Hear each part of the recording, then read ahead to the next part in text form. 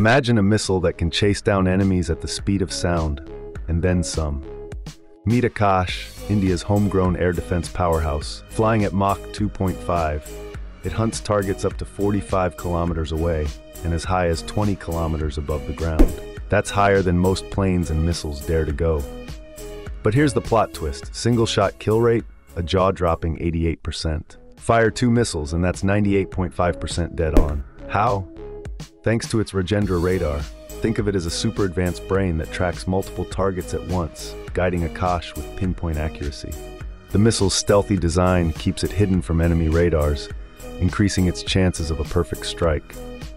Packed with a 60 kilograms pre-fragmented warhead, it's built to explode with devastating effect against anything in the sky. Plus, it's a tough warrior, built to survive extreme temperatures and crazy vibrations. Dual mode guidance means it can switch tactics mid-flight, keeping enemies guessing. Today, Akash is not just a machine. It's guarding the skies with eight squadrons along the volatile line of actual control and over 2,000 missiles ready to defend the motherland. So here's the question.